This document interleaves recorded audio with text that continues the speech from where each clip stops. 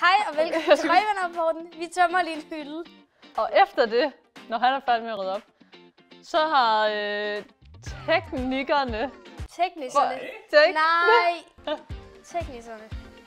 de har forberedt nogle spørgsmål til os, og så må vi se, om de vi svarer godt eller dårligt, og så får I de bedste udklip. Lad os bare komme i gang. Tager du højre eller venstre strømpe på først?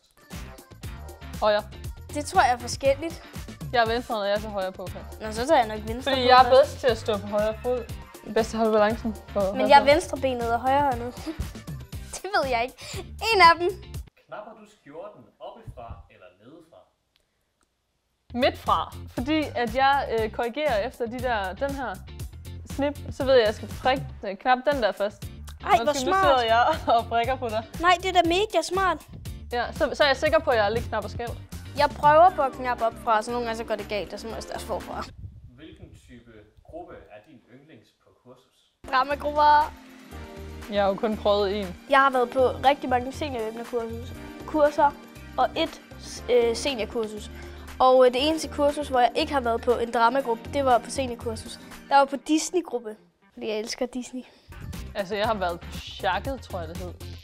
Det var jo en temagruppe. Altså, jeg valgte jo faktisk Shakket, fordi jeg troede, det ikke var en temagruppe. Fordi jeg troede, man rent faktisk kunne lære noget og hjælpe med det ene og det andet. Men så var det bare et temagruppe om at være Shak. Så jeg blev mega snydt. Putter du mælk eller sukker på først på din cornflakes eller havregryn? Sukker.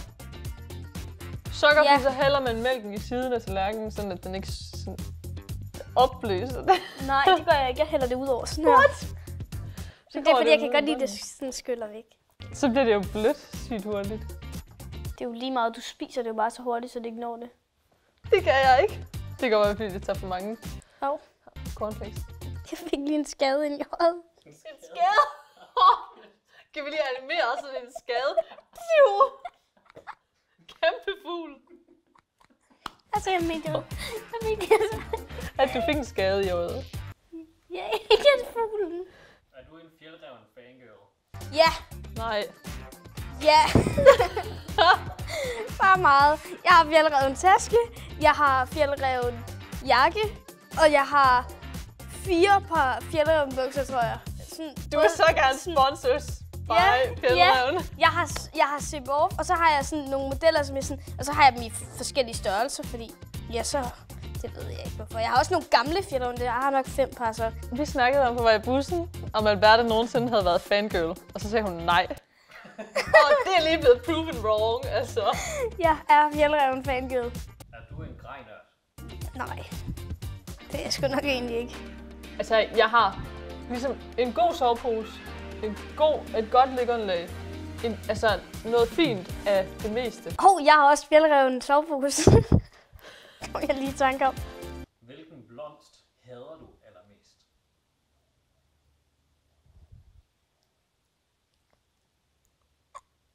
Bjørne Klo. Åh oh, ja, har den, en blomst på. den er slem jo. Nej, det ved jeg ikke. Mælkebøtter, de er ret klamme. Og man fik altid skudt dem i hovedet, da man var mindre. Men man kan lave ret god saft ud af det. Ad. Nå, okay. Men man fik altid skudt dem i hovedet, så blev man helt gul. Det var ikke så lækkert. Så du hoppede på den. Ja, selvfølgelig gør det. Hvis du blev anholdt lige nu uden forklaring foran dine venner og familie, hvilken forbrydelse ville de så tro, du havde begået? Sned mig ind på nogle andres grund og stalket dem ind ad deres vindue. Tror jeg. Eller, eller stjålet nogens identitet, eller noget. Kan vi godt klippe det ud? De ville nok tro, jeg havde stalket. Jeg ved slet ikke. Det kan være, du havde kørt for langsomt i trafikken. Jeg kan ikke komme på noget. Nu er min mega slem, og så vil du ikke sige noget, var? Stalking, hvad? Har du gaflen i højre eller venstre hånd? Venstre. Først har jeg den i højre, og så har jeg den i venstre bagefter. Og jamen, det er i samme måltid. Det er fordi, jeg er venstrehåndet. Så jeg starter med at spise som en venstrehåndet, og så bagefter, så fordi det føles lidt mærkeligt, så skifter jeg. Så, Hvad mener du? jamen, det er fordi, Når jeg du har... spiser som højrehåndet, som normalt ikke også? Det, det kan man ikke sige. Men når du spiser normalt, ikke også? Og så har du din hiv i din højre hånd, og din gaffel i din venstre hånd. Så vil du ikke sige, at jeg starter med at spise som en venstre hånd, og det er så normalt. Jeg ved jo ikke, hvad for en af dem der, jeg har det i. Jeg ved bare, når jeg skifter til venstre hånd, så føles det almindeligt med gaflen. Men man har altid gaflen i venstre hånd, så hvorfor vil du nogensinde bytte om? Ja, det er virkelig et godt spørgsmål. Jeg vide, om jeg egentlig bare skifter lidt. Det må vi lige holde øje med. Hvilket dyr minder mest om dig, og hvorfor? Skovskade.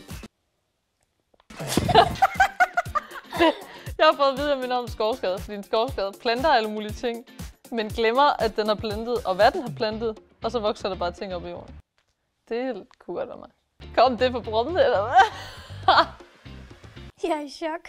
Da jeg var mindre, og nogen de spurgte mig, hvad vil du gerne være, når du var stor? Når du bliver stor, så blev jeg altid så irriteret på dem. Så jeg begyndte at sige, jeg vil gerne være giraf. Så holdt de op med at spørge, fordi de var ligeglade med mit svar, fordi de vidste godt, det kunne man ikke blive. Men jeg ved godt, jeg ikke kan være en giraf, fordi jeg mener ikke om en giraf, for jeg er meget lav. Så måske sådan en dværgkanin eller sådan noget. Jeg hørte, de godt kan være lidt arige. Det passer nok meget godt. Hvis du fik chancen for at udrydde et dyr eller et insekt, hvilket et skulle det så være? Marie Høns. What? De fleste vil jo sige myg. Malaria, alt det der. Jamen, jamen, jeg er faktisk også, altså, jeg er vildt allergisk over for myg, så det havde nok været et smart valg, men jeg hader mariehøns. De er så klamme, Jeg kan godt udrydde brandmænd. men det er ikke et insekt. Nå, kunne jeg vælge vel en dyr også? Nå, jeg vil stadig mariehøns. De er klamme. Ej, ved I hvad? Det skulle sgu være mennesket. Det er da den mest invasive art nogensinde.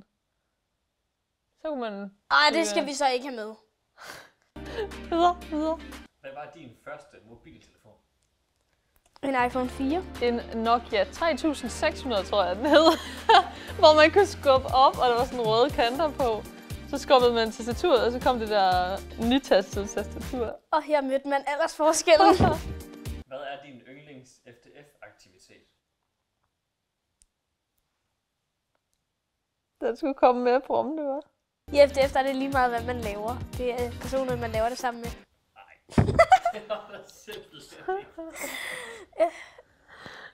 I min kreds, der laver vi tit trailerløb. Og det synes jeg er rigtig fedt. øh, jamen, øh, jeg elsker øh, rouladeløb. Roulade rundbold.